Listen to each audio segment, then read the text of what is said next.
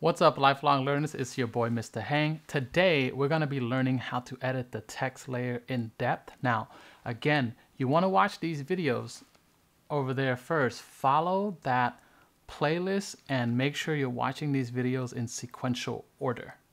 Alright, let's get into the video. Since 2006, I've been teaching high school kids how to transform their lives through education. So consider subscribing and join the mission to make the hood all good.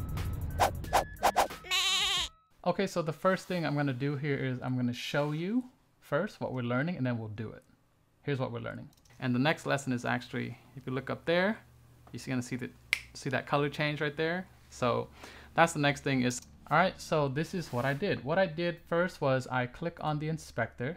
The inspector is where you're gonna change all your settings for your text. And then from previous lessons, you should know to go to effects and then you go to titles and then you just drag like any basic title. Okay so like I'm just gonna keep this really basic by dragging this text right here over on top like that. Okay?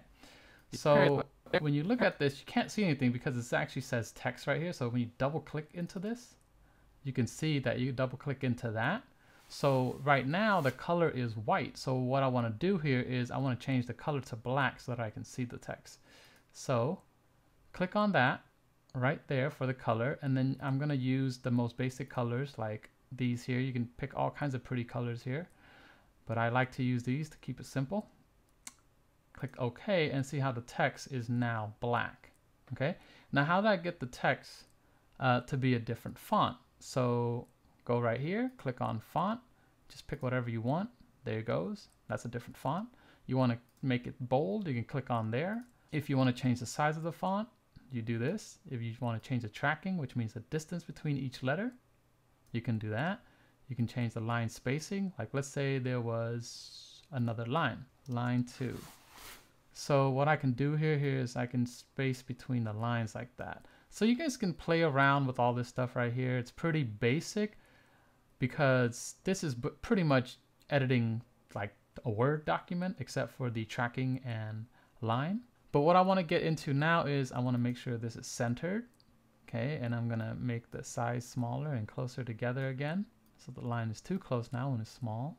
So now I'm going to drag the scale and uh, this position. Okay, so if I drag to the left here, the line's going to go to the left. If I drag to the right, my click and hold and drag. And then I'm going to use the y value, just like what you use in uh, mathematics, right? The x comma y. So this is going to move up and down. So you can click and then drag up and down, uh, left and right, and then you can see how it's going to move up and down.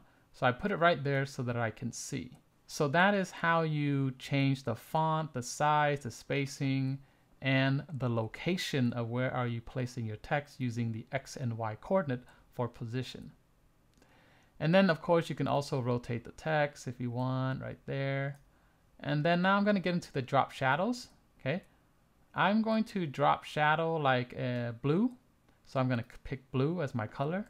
Actually, you know? Drop shadow green. I know it's not going to look pretty, but I'm just going to drop shadow. You see nothing right now. But what you do is you offset the X and Y coordinate. That's why it's so important for you to, to learn the ordered pair because look, I can drop shadow and you can see I'm moving it just like when I move my X and Y position of the text.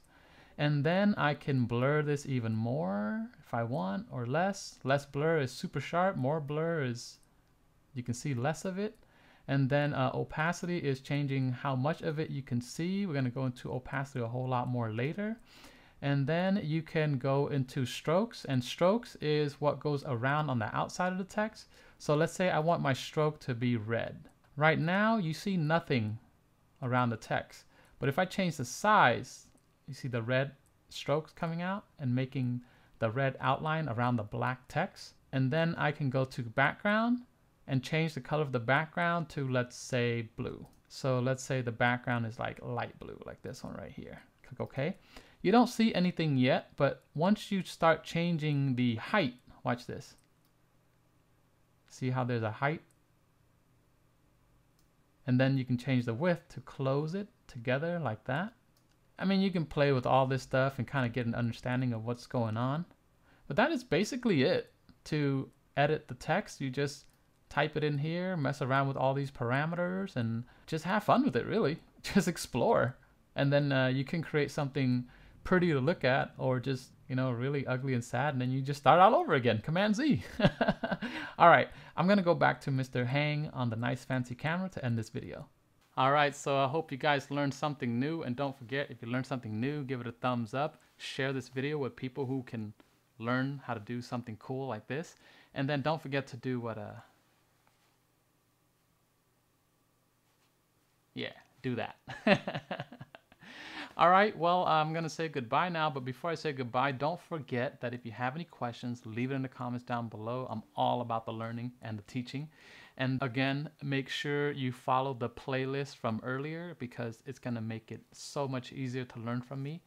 And before I forget, anything that I use to make this stuff, it's all linked in the descriptions down below feel free to buy through the links from Amazon and support my classroom because equipment break all the time and we also want to buy equipment for the students to use so that they can learn and get out there and be working professionals. And now I'm going to be able to say goodbye with all that said. get your hands ready. Rock, paper, peace. Let's hang out again in the next video.